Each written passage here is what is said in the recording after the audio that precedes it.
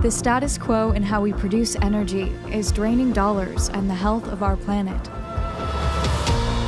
At Distributed Solar Development, we're leading the charge to transform the way organizations harness energy. Through our industry leading techniques, innovative designs, and successful execution, we build long term solutions for on site solar energy distribution. Each site is uniquely designed to fit within existing structures and landscape, and they're completed quickly and are minimally invasive.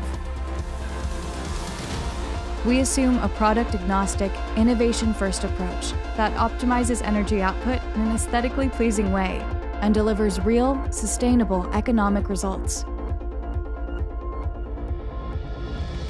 Harness the power of renewable energy with distributed solar development.